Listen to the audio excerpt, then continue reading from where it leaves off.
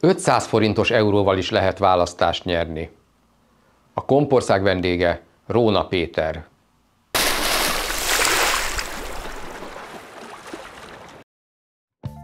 Róna Péter közgazdász, jogász, üzletember, egyetemi oktató. Családjával 14 éves korában, 1956-ban emigrált az amerikai Egyesült Államokba, ahol tanulmányai elvégzése után előbb egy ügyvédi iroda, majd egy minisztérium munkatársa volt, később pedig a brit bankszektorban dolgozott. Az első magyar alap elnök vezérigazgatója.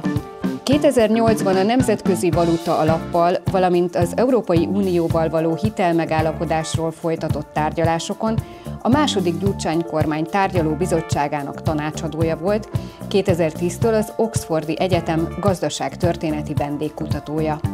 2022-ben az ellenzéki pártszövetség őt jelölte köztársasági elnöknek, ám a Fideszes többség Novák Katalint választotta meg.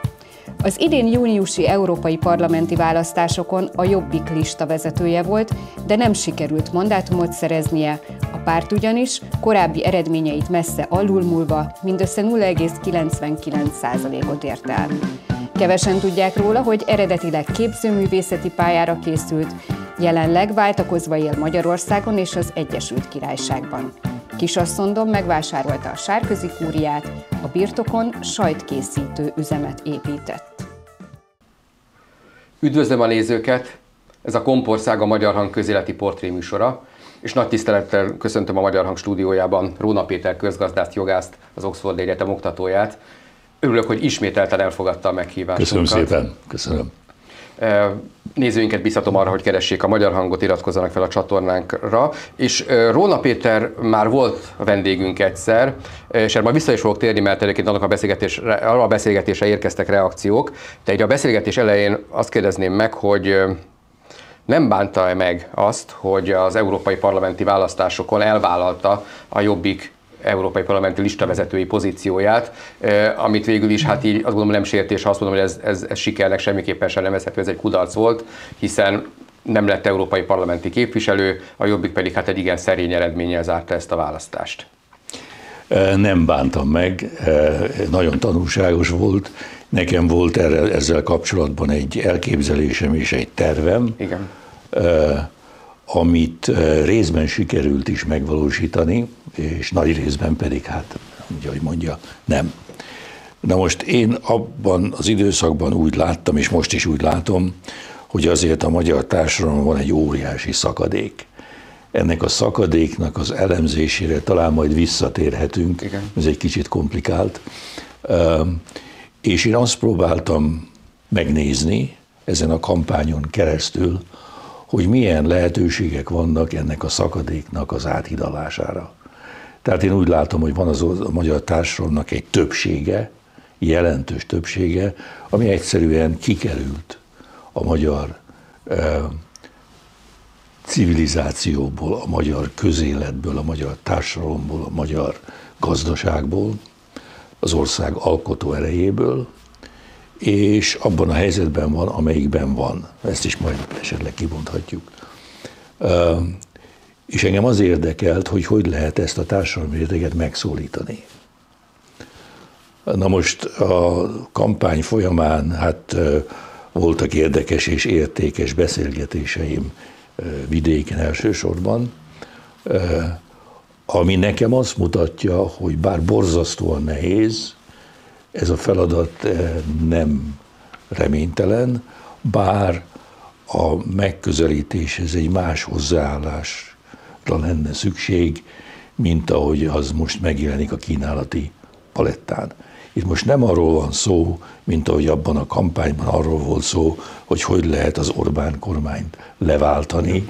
Ez egy külön kérdés, fontos kérdés, ez engem kevésbé érdekelt, Engem az érdekelt... Hiszen ennek a választásnak nem is ez volt a tétje. Ennek a választásnak nem is ez volt a tétje. Engem az érdekelt, hogy hogy lehet ezt a leszakadott, kizárt, lebecsült, elértetlenül társadalmi réteget megszólítani. Ők, ők lehet őket úgy Bocsánat, nevezni, hogy ők a én- szegények, ők, a, ők akik, hogy Ennek van, egy, ennek van egy gazdasági meghatározása. Most nemrég jelent meg egy értékes tanulmány Kovács Imre és Szabó Andrea munkájából, amit ők ezt létesen feldolgozzák, amire ők nem, és a gazdasági oldal és a számok ott vannak a tanulmányban, nagyon súlyos, tehát itt 70%-ról van szó, amelyik kiesik a, a magyar társadalomból, az ő elemzésük szerint. Bocsánat, ez milyen értelemben esik ki? Csak hogy ez a 70% azért ez egy nagyon Hogy nem tud polgárosodni.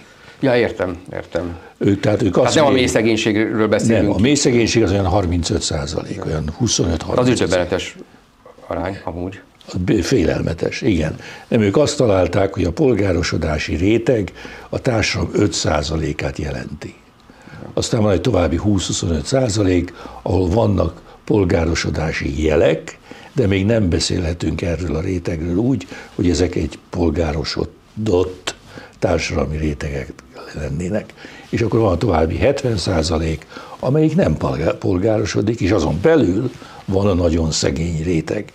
Na most, amit ők nagyon szépen felvezetnek ennek a, ebben a tanulmányban, az ennek a politikai és gazdasági háttere, nem nézik meg, hogy milyennek a kulturális háttere, tehát egy civilizációs hátteret, és, és itt van egy nagyon fontos, fontos tétel.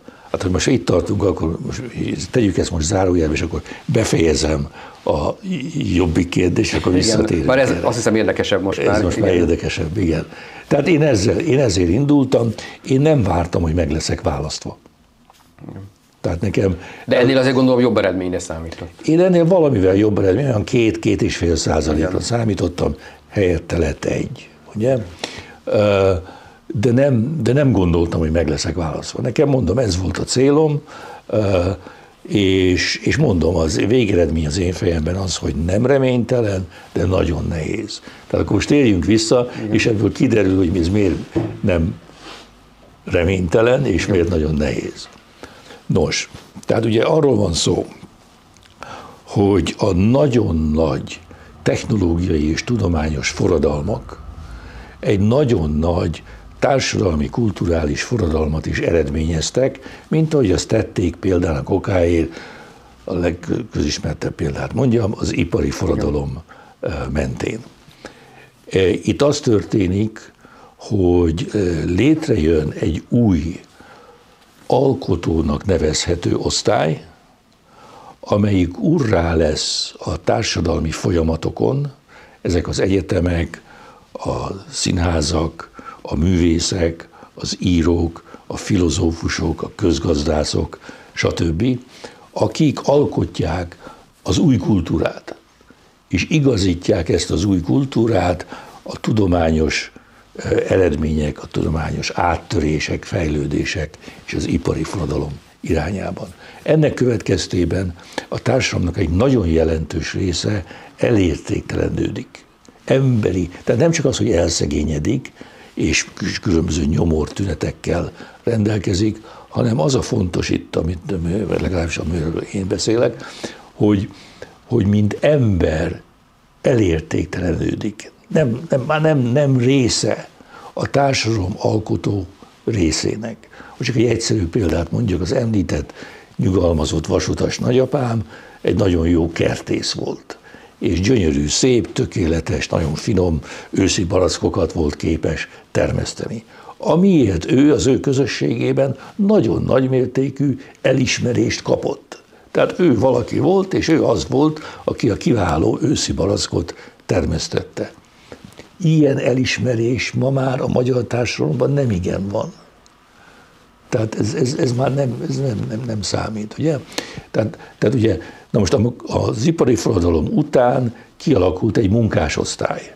A munkásosztály aztán kialakította a saját maga kultúráját, beleértve a politikai kultúrát, ahol megszületett a szociáldemokrata párt, a szociáldemokrata mozgalom, és, és aztán ez, ebből lett egy, egy, egy, egy kulturális fogalom, gyökér, a munkásosztály, osztály öntudat, stb. Ugye? De amíg ez kialakult, ott volt az a hatalmas, elértéktelenített tömeg.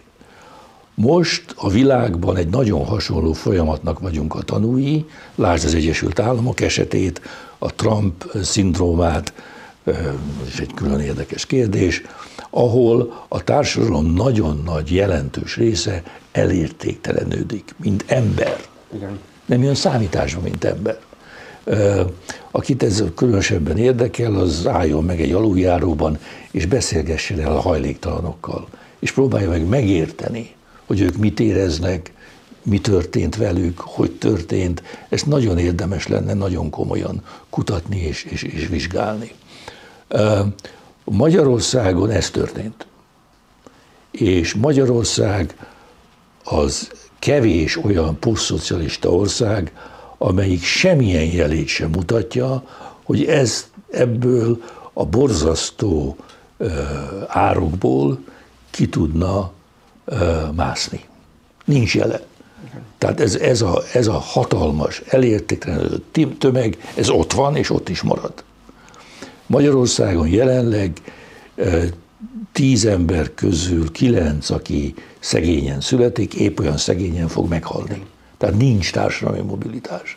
Nincs az a kultúra, és a kultúra itt a mindennapi, tehát az antropológiai értelemben vett kultúráról beszélek, nem feltétlenül magas kultúráról, antropológia mindennapi élet kultúrájáról, nincs az a kultúra, amelyik a társadalom többségét, a magyar társadalom többségét, és ez a fontos, bevonná az ország alkotó folyamataiban. Na most, hogy ez miért van így? Hát részben az azért van így, mert Magyarországon eltérve nyugat-európai országoktól, és egyébként más posztszocialista, mint Lengyelország, Balti országok, Csehország, stb. A, az, a kulturális elitet a politika eluralta, a politika nevezze ki, és a politikai célok szolgálatába állítja. Ez a kulturális elit nem képes egy olyan kultúrát kialakítani, ami áthidalná ezt a törést. Igen. Ugye? Mert, mert maradunk attól, hogy mit kell ahhoz, mi kell ahhoz, hogy Orbán hatalmon maradjon. Ugye? És ez, hát ez, ez, ez, nem, ez, nem, ez nem fog. Igen. Lehetek egy kicsit az ördögügyvédje? Hogy nem hogy nem erre próbál egyébként erre a jelenségre választ adni az Orbán kormány, amikor ugye már 2010-től kezdve arról beszél, hogy munka alapú társadalmat kell teremteni. A parlament nyitóülésén volt egy szócsata a miniszterelnök és az MSZP és Komjár között, és a miniszterelnök azt mondta, hogy, hogy, hogy, hogy, hogy ne tessék bántani a ezeket az összeszerelő üzemeket, mert az munkát ad sok embernek, és hogy nem csak fehérköpenyes dolgozók vannak, hanem vannak ezek azt mondja, klasszikus mondjuk kék munkások, tehát hogy a kormány rájuk is gondol. Ugye most ugye szakmunkás hitelről is van szó, sok minden egyébről. Tehát, hogy, hogy, hogy, hogy nem pont arra törekszik a kormány, hogy, hogy értelmes feladatot, munkát próbáljon adni olyan embereknek is, akik, akik, akik igen, valóban nem feltétlenül ez a fehér köpenyes, tehát a, a, a legmagasabb szintű végzettséggel eh, rendelkeznek, hiszen sosem lesz a társadalom egésze ilyen, tehát eh, ilyen társadalom még nem nagyon létezett. Tehát, hogy nem ugyanez a felismerés mozgatja a kormány? Szerintem van egy ilyen jellegű felismerés a kormány részéről, azonban a felismerés torzított, és a felismerésen alapuló program nem, nem, nem megfelelő, nem alkalmas. Na most miért nem alkalmas? Hát elsősorban azért nem alkalmas, kezdjük először, mi a felismerés, hol hibás a felismerés? A felismerés ott hibás, hogy ő ezt a munka és a foglalkoztatás paraméterein belül próbálja definiálni. Természetesen a munka és a foglalkoztatottság eh, részletei fontos tényezők, de erről, ennél többről van szó. Itt arról van szó, hogy melyek azok a mechanizmusok, amelyek mentén létrejön a társadalmi mobilitás. Na most ilyen mechanizmust ez a kormány nem hozott létre, többet mondok, a rendszerváltás óta senki se hozott létre. Tehát itt volt egy, egy, az átkosban, az úgynevezett átkosban, volt egy társadalmi mobilitás, olyan, amilyen, de volt, ugye? Ez megszűnt, és a helyébe nem került semmi. Itt az egyetlen társadalmi mobilitás a Fideszhez való csatlakozásban jelentkezik. Egyébként társadalmi mobilitás nincs. És ez azért nincs, mert nincs meg az a nemzeti kultúra, ami helyet, lehetőséget adna a nem politikai irányultsággal rendelkezők számára. Igen. Nem? Tehát, tehát itt ez, ez, tehát rosszul fogja fel, hogy mi a probléma. A második, amiért aztán az ő javaslata teljesen működésképtelen, az az, hogy éppen az ő NER, tehát centralizált rendszere az, amelyik elfolytja, kiiktatja, megszünteti, ennek a, ellehetetleníteni ennek a kultúrának a létrehozatalát. Igen. Ugye, tehát, tehát ezek az úgynevezett alkotó rétegek, a nyugati, amerikai, brit, a német, stb. Eh, fejlettebb országokban, ők, őket nem a politikai hozza létre, politika hozza létre, hanem sőt, ők hozzák létre a politikát. Ők irányítják a politikát. Most Magyarországon ilyen lehetőség nincs. Tehát mindaddig, amíg a szellemi képességei az országnak nem szabadulnak ki a politika fogságából, ezt a törést nem tudjuk áthidalni. Ja?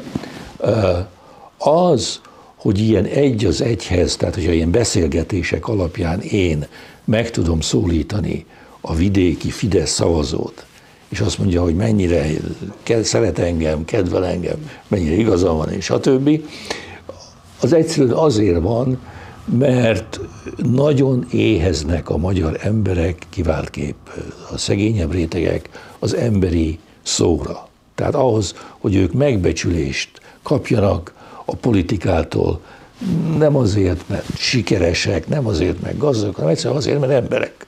Tehát az emberi minőségükben kapjanak felismerést, támogatást és megbecsülést. De mondjuk a választási adatokból azért úgy látszik, meg a szociológiai felmérésekből, hogy a Fidesznek azért ezeket a mondjuk így szegényebb rétegeket jobban sikerül megszólítani, mint másnak, tehát a szavazótábora jelentős részben belőlük áll, meg tudjuk, hogy a igen, leszakadó igen, régiókban... Igen, és erre is megvan a megfelelő magyarázat. És például az, az nem magyarázat erre, hogy a, valamelyest mégiscsak egy társadalmi mobilitási kísérlet volt az, hogy a közmunkaprogramot, vagy közfoglalkoztatást ugye a kormány bevezette, hiszen azt mondta, hogy a, a segély helyett, a, a segélyen való létezés helyett a munkaerőpiacra igyekszik terelni Nem, egyáltalán, egyáltalán, egyáltalán, egyáltalán nem. Ez kizárólag egy szavazóbázis megvásárlásáról szólt ez a program. Tehát itt semmiféle mobilitási lehetőségről nem. Itt a Fidesznek, a Fidesz politikájának, mint ahogy ez a Kovács Imre Igen.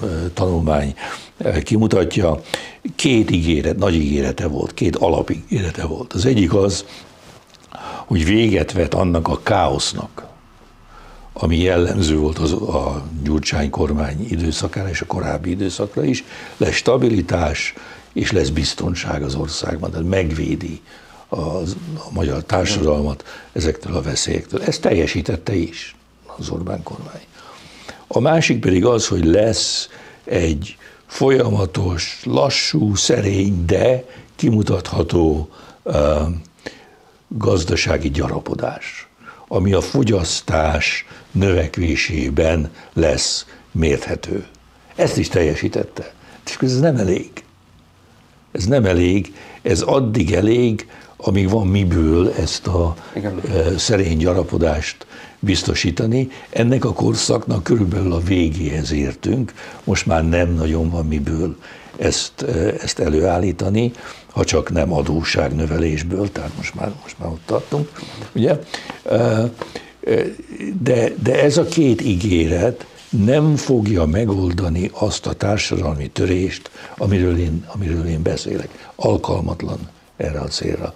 Az, hogy miért szavaznak a szegényebb, legszegényebb rétegek az Orbán kormánya, nagyon egyszerű.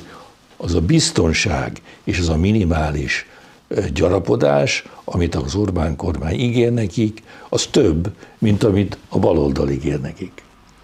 Tehát, tehát ez, ez, ez valami, őt ezt, ők ezt megértik, el is fogadják, ez, ez ennél többen, többre most már nem is nagyon tudnak vágyakozni, és, és ezért ők rájuk szavaznak.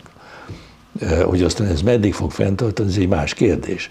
De ami nagyon fontos, hogy ez a mechanizmus, amit én itt felvázoltam, ez az ország nagyon komoly, folyamatos lecsúszásához vezet. Tehát az országban nincs alkotó erő.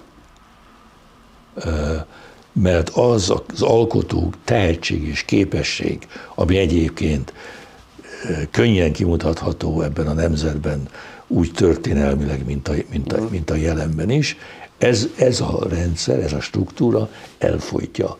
És hogyha elfolytja, akkor a törés, a társadalmi törés, amiről beszélek, permanensé válik. Meg hát ennek a rétegnek a jelentős része az, hogy a külföldre távozik. Igen, igen, igen. Ha jól értem, akkor itt az, hogy ez változzon, ahhoz nyilvánvalóan a politikai szférájában, a politika szférájában kell egy gyökeres fordulat.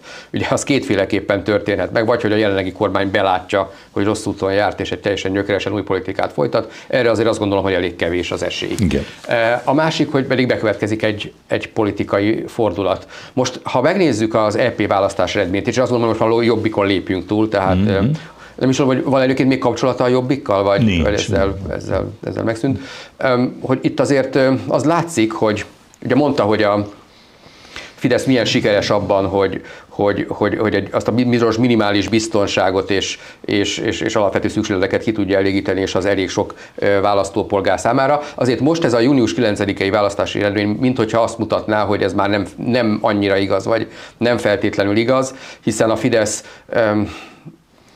ugye legerősebb pártként került ki ebből a küzdelemből is, de azért már lényegesen 50% alatti eredménnyel, és megjelent egy komoly erő, ami ugye 30% körüli eredményt ért el, és ha hihetünk a felméréseknek, akkor már ez a különbség a két erő, tehát a Fidesz és a Tisza párt között lényegesen csökkent, egyesek szerint már hiba határ környékén van, de ez azt gondolom, hogy most annyira nem lényeges, hogy ezek a, ezekben a folyamatokban lát esélyt arra, hogy akár egy ilyen fordulat is bekövetkezzen Magyarországon, mert nyilvánvalóan önmagában az, hogy valaki leváltja a kormányt esetleg, az még nem feltétlenül jelentő, hogy ez az új politikai kultúra meghonosodik.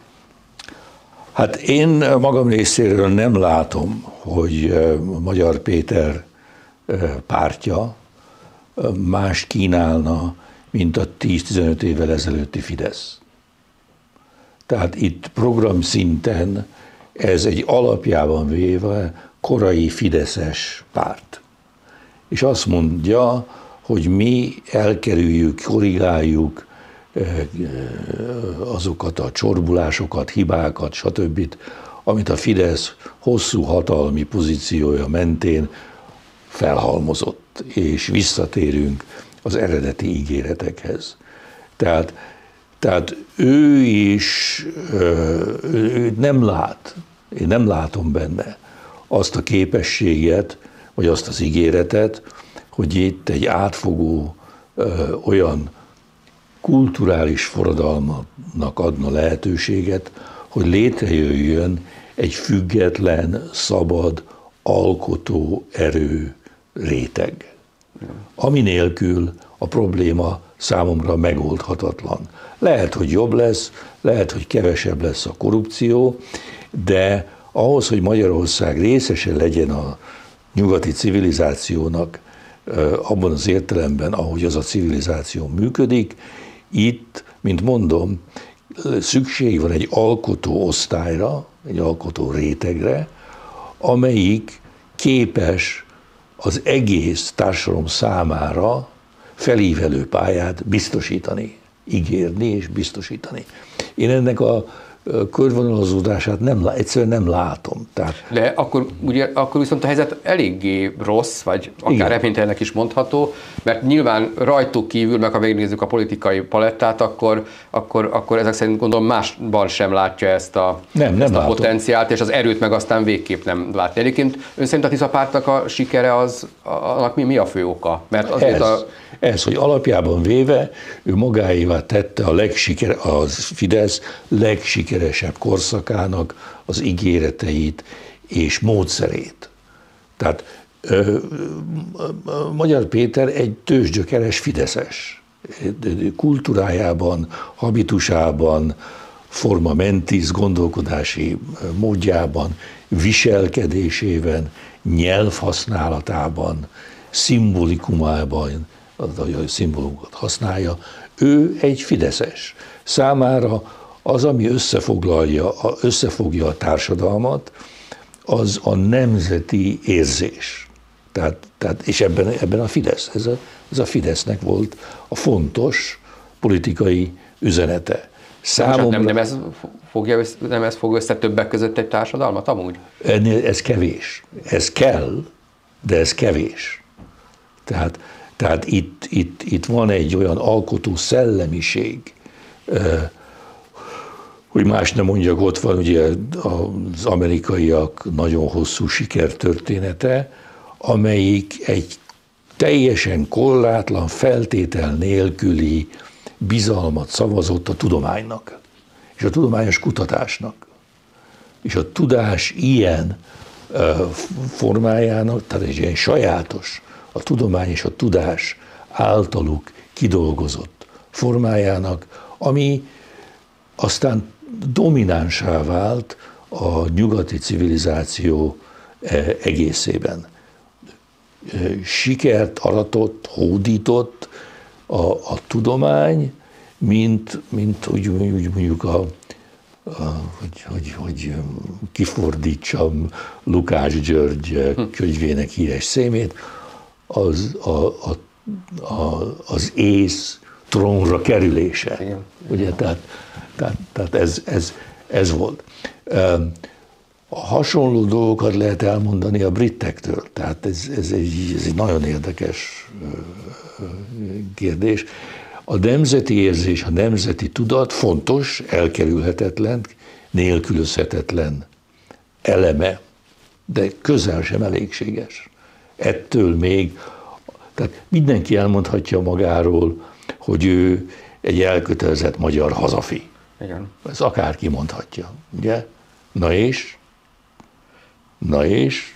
Igen, csak ugye a magyar politikában azt láttuk, hogy a, ugye a Fidesznek felrólják azt, hogy, hogy a nemzeti szimbólumokat kisajátította, de azért, hogy valaki ki tudjon sajátítani szimbólumokat, az az is kellett, hogy a akkori szemben álló politikai erőt, amit nevezünk baloldalnak, bárminek, azért sok megnyilvánulásában, hát hogy úgy mondjam, csak a nemzeti érzésnek ugye a, a fontosságát vagy jelentőségét, mint hogyha lebecsülte volna. Ez így van, le is becsülte. Én emlékszem egy korai vitára, még a 90-es években, ahol a fiatal Fidesz részéről Pokornyi Zoltán lehordta, most már nem emlékszem melyik szocialista politikust, mert két, a vita két nappal a március 15-i ünnepség előtt volt, március 15 előtt volt, és ez a illető belépett a stúdióba a kokárda nélkül. És pokolnyi rárontott, hogy tűz már ki azt a kokárdát.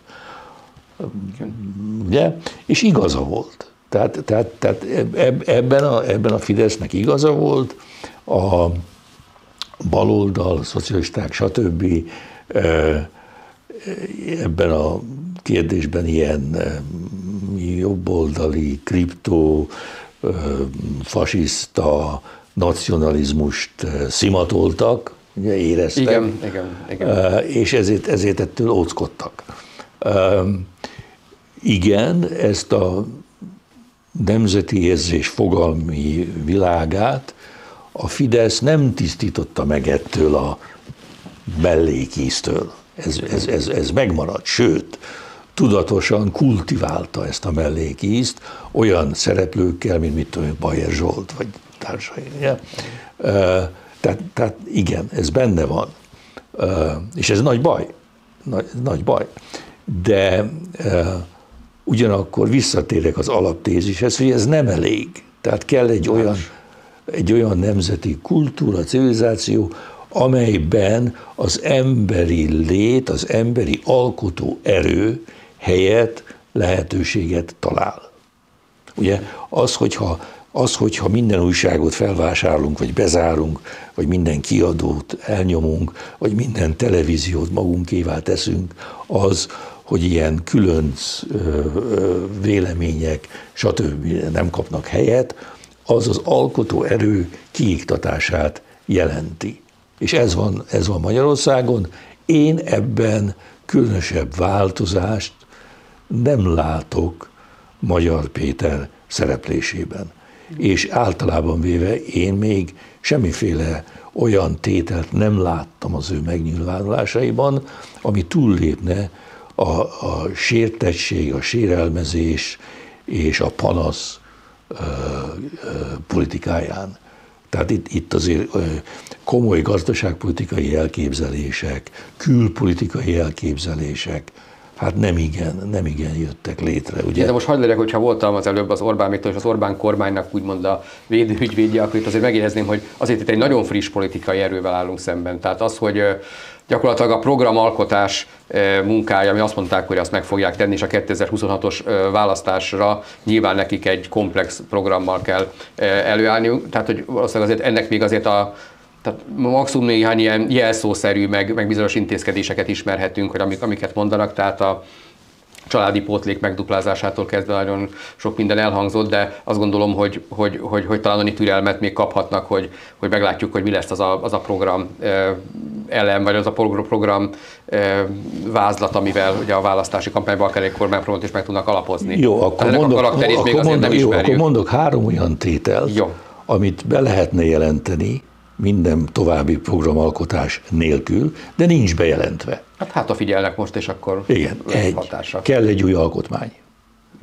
Ez az alkotmány nem alkotmány, ez az alkotmány teljesen alkalmatlan egy pluralista, demokratikus állam működtetéséhez, létrehozatalához és működtetéséhez. Tehát ennek az alkotmánynak, az alaptörvénynek, ahogy ezt hívják, beszézik, mennie kell, és helyette kell egy új nagyon későn vagyunk ahhoz, hogy a 26-os választásokra kész legyen egy alternatív terv. És miért vagyunk későn? Mert jó, hát berobbant Magyar Péter, de azóta ezzel a kérdéssel én nem, nem találkoztam, hogy foglalkozott volna. Tudományos csoport, amelyik ezt kidolgozná, megfogalmazná, nincs, nem létezik. A Jó, hát bal... egy embertől nem is lehet elvárni, azt hiszem. Igen. Az, hogy létrehozott ilyen csoportot, dehogy nem. Azt igen. Dehogy nem, hogy ne. És vannak erre alkalmas emberek. Ugye megjegyzem, a úgynevezett baloldali demokratikus ellenzék szintén teljes mértékben adós ezzel a kérdéssel. Tehát ez egy. Igen. Kettő. Ezzel az adórendszerrel Magyarország a jelenlegi gazdasági helyzetéből nem tud kimászni.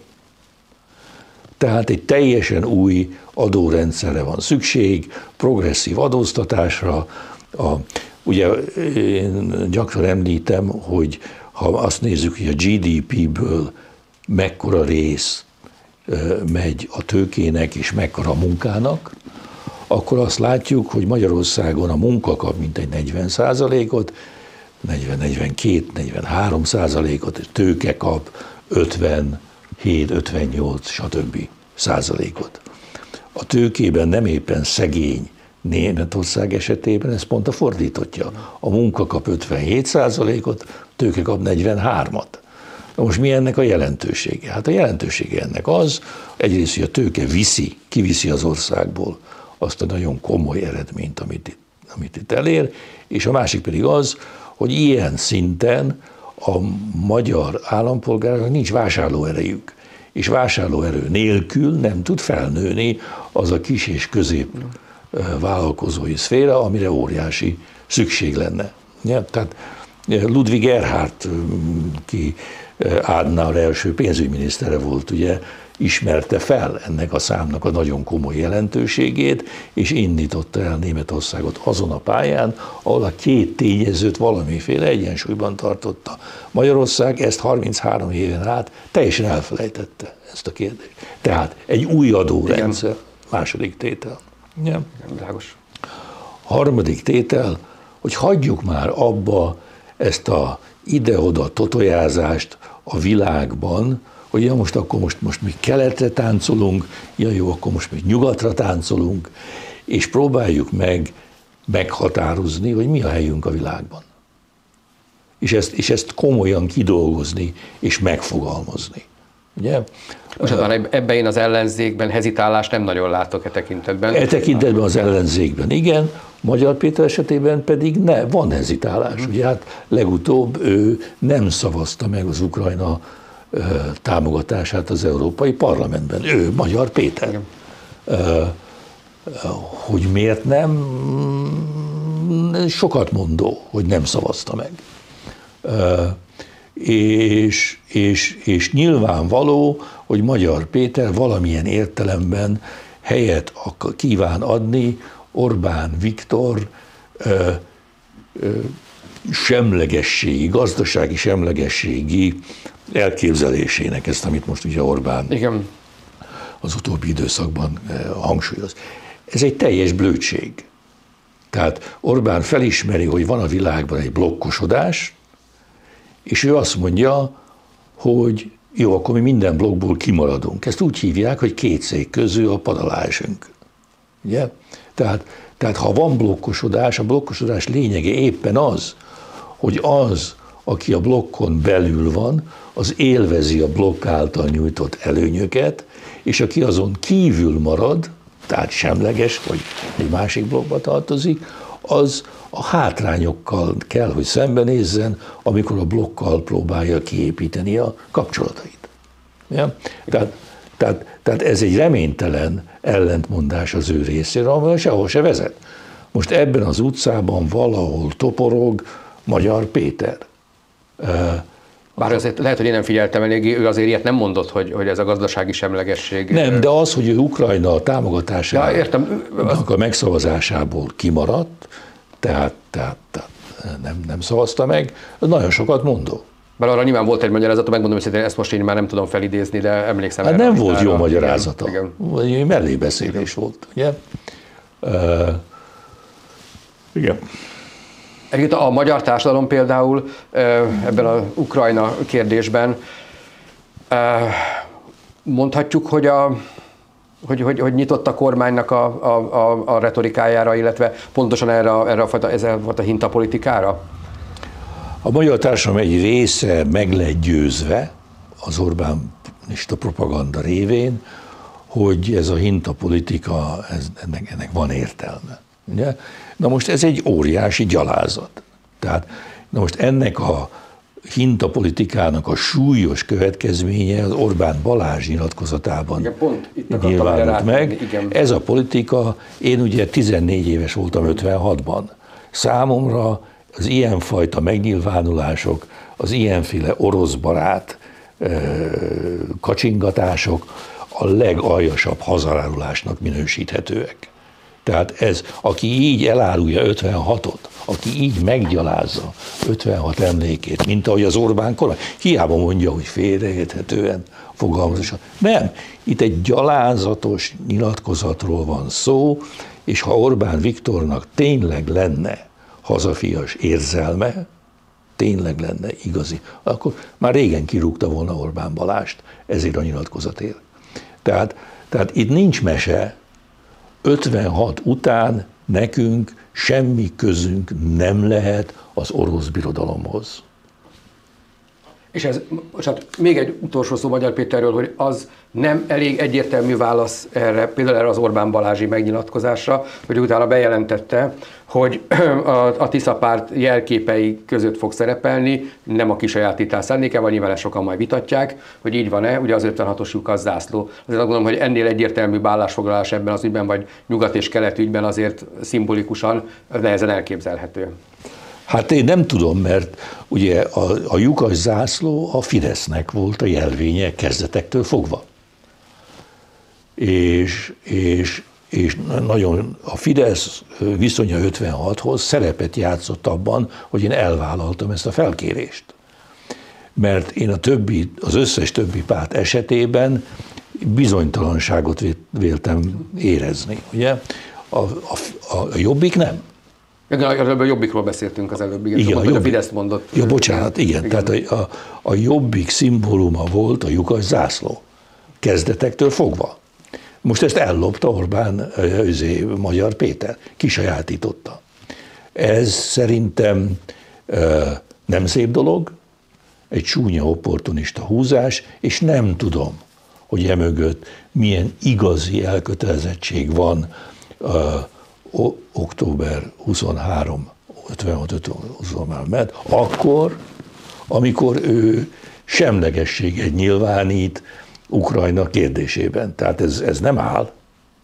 Igen, bár erre ugyancsak azt tudom mondani, mint ugye a kokárdára is, hogy az, hogy valaki azt mondja, hogy ő magáinak érzi, akár a szimbólumaként használja is, az nem akadályoz meg senkit abban, hogy ő maga is ezt deklarálja, és ezt használja, ahogy, ahogy a kokárdát is bárki feltűzheti, feltűzheti. Jó, de, de, jó, de ahhoz, hogy ezt hitelt érdemlően feltűzhesse, legyen az a kokárda, vagy a lyukas zászló, a viselkedésében, a gondolkodásában azt a politikai és erkölcsi tartalmat kell rendszeresen és következetesen érvényesíteni, ami azt a, azt a kokárdát vagy lyukas zászlót szimbolizálja, megjeleníti.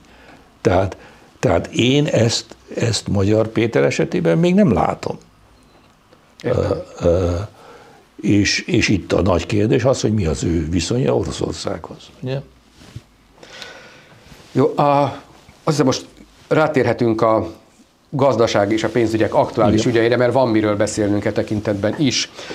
A, a miniszterelnök nem csak a gazdasági semlegességről szokott beszélni, hanem, hanem ilyen nagyívű terveket is megfogalmaz, azt prognosztizálja, vagy azt szeretné, hogy jövőre 3 és 6 százalék közötti gazdasági növekedés legyen, és azt mondta, hogy a cél az, hogy néhány éven belül 1 millió forint körüli átlagbér legyen. Ezek reális célkitűzések? Hát nézem, én a jövendőlés nem az én szakmám. De az szerint a miniszterelnöki igen. De a, a miniszterelnöki igen. Ugye én F mögött, ezek mögött a kijelentések mögött valóságos tartalmat nem igen, nem igen látok. A nyugat-európai gazdaságok egy nagyon komoly strukturális átalakulás alatt vannak kiszálltak az orosz energiafüggőségből. Most ugye itt van egy másik kérdés Magyar Péternek, mi legyen az energiapolitika Oroszországgal kapcsolatban? Na tessék, nem kell 26-ig várni, hogy ezt a kérdést megválaszolja. Mi legyen? Ugye? Meglátjuk, mit fog erről mondani, igen. Hát na, na jó, de hát már ideje, hogy mondjon valamit. Ugye? Tehát ez nem, ez nem egy olyan dolog, hogy erre várni kell. Na, tehát visszatérve. Már nyilván nem is egy egyszerű dolog. Tessék? Nem is olyan egyszerű dolog, nyilván. Nem egy egyszerű dolog, de megvan a minta. Igen. Tehát megvan a modell, az európaiak kidolgozták a modellt, hogy ez hogy lehet elérni. És, és nem, nem, nem, nem kell feltalálni valami Igen. különleges dolgot. Igen. Hát Európa nagy része gyakorlatilag levált az Levált, levált. Persze. Igen, igen, igen, levált. Sikerrel levált. Átalakít... Volt ára nyilván. Hogyne, nagyon komoly ára volt, és van. És továbbra is van. Na most ez egy nagyon jelentős szerkezeti átalakulás jelent az európai ipar és gazdaság számára. Európa ezen dolgozik. És ugye alapvetően az a terv, hogy átállítják az energiaintenzív ipari tevékenységek útjáról egy zöldebb irányba, ami olyan szolgáltatások és termékek előállításáról szól, amelyek kevésbé energia igényesek. Ez a strukturális átalakítás nem egy egyszerű feladat. És itt most ez, ez van. Ha 25-ben kezd, kezd ügyezni ez az átalakulási fa, ugye, akkor igen, lehet szó, hogy ilyen európai két plusz százalékos növekedésről. Ha az átalakulási folyamat még azért elhúzódik, akkor, akkor, akkor, akkor nem. Ezen belül nagyon nehéz helyzetben van éppen az a Németország, amelyik ezt a korábbi mintázatot megtestesítette és követte, és amelytől a magyar gazdaság oly nagy mértékben függ Tehát, hogyha a német gazdaság gyenge állapota nem javul, akkor nyilvánvalóan sokkal rosszabb lesz az eredmény, mint arról, mint amiről Orbán beszél. Én tehát ezt, ezt nem látom. Az egymilliós alapbérről szóló nyilatkozat, gondolom ez bruttóról van szó, és nem nettóról, bár ez nem hangzott el, hogy melyik számról beszél. Ez, ez nem reális. Tehát ha azt kérdezzük, hogy ez hogyan lehet reális, akkor lehet reális egy nagyon erőteljes infláció mellett. De ha azt nézzük, hogy van-e a magyar nemzetgazdaságban olyan termelő képesség, ami ki tudná termelni az ilyen mértékű bérnövekedéshez szükséges előállítást, GDP növekedést, akkor azt kell mondanom, hogy hát nincs, bár mindenféleképpen én örülnék neki, hogyha a nemzet, hogyha a nemzetgazdaságpolitika, a gazdaságpolitika a korábbi említett 40-60 arányt a tőke és a munka között kezdené áttolni a munka irányába. Erre utaló jeleket még nem látok. Tehát ha tényleg azt akarja, hogy legyen egy millió forintos minimálbér, akkor részben... Tehát átlagbért mondott. Igen, átlag, a, átlagbér, bocsánat, átlagbér, igen. Egyébként már ilyen is elhangzott mástól, hogy igen, majd az igen, nem, nem, nem, nem, nem, átlag, igen. átlagbér, bocsánat, igen. Akkor, akkor a tőke jövedelmezőségét kellene csökkenteni a munka javára. Szerintem erre van lehetőség, hogy aztán ő ezt meg tudja csinálni, vagy nem, az egy más Hogy kérdés. akarja-e? Akarja-e, Talán ez a legfontosabb kérdés. Igen. Igen. Um, azt hiszem, hogy aki figyeli a gazdasági főpontokat, az a, a legemlékezetesebb nyilatkozat az elmúlt időszakból az Nagy Márton nemzetgazdasági miniszterhez köthető, aki mikor jönnek az adatok arra, hogy a költségvetésnek a helyzete hát nem túl rózsás, ugye növelni kell folyamatosan a, a, a hiánycélt. Um, és ennek részben az az oka, hogy, hogy a lakossági fogyasztás nem hozza azokat az eredményeket, vagy azt, azt a szintet, amit a kormány tervezett, amit elvárt volna. És hát részben kicsit ilyen megrovóan, vagy, vagy értetlenkedve mondta a miniszter, hogy, hogy, hogy, hogy, hát, hogy miért nem költenek, hogy nem költenek eleget az emberek a boltokban, holott 10% feletti a, a reálbérnövekedés. Ez a kritika, ha úgy tetszik, a lakosság felé, ez mennyire megalapozott, és hogy, hogy Miért lenne az probléma, ha, ez így van, hogy a 2023-as esztendő extra infláció sokja után az emberek talán inkább valóban a tartalékaikat próbálják feltölteni, már ha egyáltalán van nekik ilyen? Hát elsősorban ez a 10%-os reálbér növekedés, ez nem igaz. Tehát ez, ez, ez, ez nem így van. Az infláció mértéke Magyarországon sokkal nagyobb, azokban az, az termékkategóriákban, amelyek érintik az átlagfogyasztót. Tehát, hogyha kivesszük a kosárból, most szortírozunk a kosárban, az, hogy melyik társadalmi réteg mit fogyaszt leginkább, akkor egy másik kosár áll elő, amit én az említett 35 százalékos szegény részek kosarának neveznék, illetve a még a már valamelyes polgárosodó, de azért még közel sem polgári további 30% kosarának neveznék. Ugye? Tehát most, hogyha ezt, ha ezt nézzük, akkor a reálbér növekedés nem ez. A reálbér növekedés abból adódik, hogy a felső 5% és az őt követő 10%-nak nagyon meredek bérnövekedése következett be. Miközben a legszegényebb 35% esetében nem volt ilyen bérnövekedés. Tehát, tehát itt, itt rétegezni kell ezeket a számokat, ezeket olyan mértékű Magyarországon a társadalmi szétszakadás, hogy ezek az átlagszámok már nem jelentenek semmit. Ha ezen az alapon próbálja Nagy Márton megérteni, hogy mi van a fogyasztással, soha nem fogja megérteni. Mert az alsó 35%-nak egyszerűen nincs pénze, amiből többet fogyaszthatna. Ő ezt, az ő jövedelmét, bevételét a naptár 22., 21., 22. naptár, napján teljes mértékben elkölti. Hó végére már nincs semmi pénze. Ja. És, ez, és, ez, és ez, mint mondom, a társadalom 30-35 százaléka. Na most jön a másik, a következő réteg, hasonló helyzetben van. Tehát fizetőképes kereslet a magyar társadalom 65-70 százalékában elképesztően vérszegény, és vérszegény maradt. Na most az, hogy a felsőbb rétegek mit csinálnak a pénzükkel, az egy nagyon érdekes kérdés, ezt érdemes vizsgálni, jobbára külföldi fogyasztásra fordítják, és nem belföldire. Igen. Egyébként, hogyha a belső motor az nem nagyon működik, tehát a lakossági fogyasztással nem sikerül a gazdasági növekedést beindítani, akkor milyen más lehetősége van egy kormánynak arra, hogy, vagy a jelen pillanatban a kormánynak milyen lehetősége lenne arra, hogy, hogy, hogy beindítsa ezt a növekedést? Adó, adó, az adóreform. Hát ennek semmi elét nem látni. Nem. Nem. Tehát e, neki azt kellene csinálni, hogy, hogy nagyon nagy mértékben csökkentenie a, az áfát, mentesíteni a legszegényebb rétegeket a jövedelemadótól, ugye, megemelni a társasági adót, és megemelni és bevezetni a progresszív adóztatást.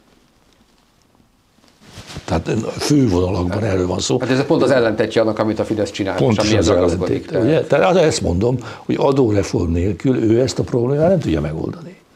És mondhat, amit akar, és mondni is sok mindent, mint ahogy hallottuk Nagy Márton részéről, de ezek egyszerűen zöldségek, tehát ez nem, nem sületlenségek. Igen, ha már Nagy Márton szóba került, azt tudjuk, hogy jövő márciusban lejár Matolcsi Györgynek a mandátuma a Nemzet, Magyar Nemzeti Bank élén, és Matolcsi György a legut- az utóbbi időben ugye elég élesen kritizálja a kormány gazdaságpolitikáját, és a kormány ezt, erre azt mondja, hogy, hogy hát most már fél lábon is kivárják azt az időt, amíg, amíg, amíg lejár ez a mandátum, és hogy majd akkor egy olyan új jegybankelnök jön, aki feltételezhetően hát jobban simul, jobban idomul a kormány politikájához, és a tervek úgy körvonalazódnak, hogy ezzel párhuzamosan valószínűleg létrejön egy, egy, egy ilyen gazdasági csúcsminisztérium, ami feltetőleg a pénzügyminisztériumot is magában olvasztja, és volt is már egyébként ilyen.